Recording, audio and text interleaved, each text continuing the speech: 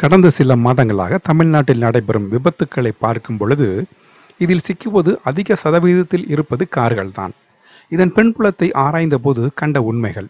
விபத்தில் சிக்கிய வாகனங்களில் எண்பது சதவீதம் சொந்த பயன்பாட்டிற்காக வாங்கிய வண்டிகள். இதற்கு காரணம் சொந்த வண்டி ஓட்டுபவர்கள் பெரும்பாலும் தினமும் காரை ஓட்டுவது இல்லை. பெரும்பாலும் வாரத்தில் ஒரு நாளோ அல்லது இரண்டு நாட்களோ எடுப்பார்கள்.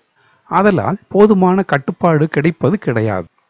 சொந்த கார்களை பெரும்பாலும் அடிக்கடி ஓட்டாததால் அவர்களின் கார் டயர் மற்றும் பிரேக் போன்றவற்றை முறையாக பராமரிப்பதும் கிடையாது. தொலை தூரங்களுக்கு செல்லும் பொழுது மிகவும் வேகமாக செல்வதால் அந்த சாலைகள் அவர்களுக்கு பழக்கம் இல்லாததால் அதில் இருக்கும் குழிகள் இருப்பது தெரியாததால் திடீரென காரை கட்டுப்படுத்த இயலாமல் எங்காவது மோதி விடுகிறார்கள். காரை அடிக்கடி ஓட்டாததால் சில நேரங்களில் பிரேக்கிற்கு பதிலாக ஆக்சிலேட்டரை பதற்றத்தில் அமுக்கி விடுகிறார்கள். இதனை எப்படி தவிர்ப்பது? பொதுவாக அடிக்கடி காரை ஓட்டாதவர்கள் ஆட்டோ கியர் காரை உபயோகப்படுத்துவது நல்லது. அதை எந்த சூழ்நிலையிலும் கட்டுப்படுத்துவது எளிது. இதில் மைலேஜ் பார்க்க கூடாது. இது நமது உயிர் மற்றும் சாலையில் செல்லும் மற்றவர்களின் உயிர் சம்பந்தப்பட்டது.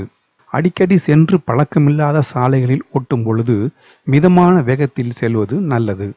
வாகனத்தை தொலைதூர பயணத்திற்காக பயன்படுத்தும் பொழுது டயர் விளக்குகள் சரிடு விளக்குகள் சரியாக எரிகிறதா என்று பார்ப்பது மிகவும் முக்கியம்.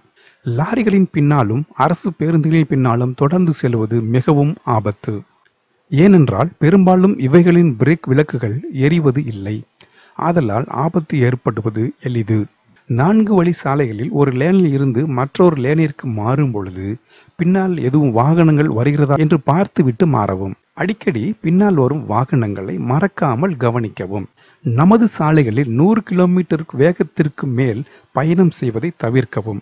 ஏனென்றால் நமது சாலைகள் அந்த வேகத்திற்கு மேல் பயணிக்க உகந்தது அல்ல.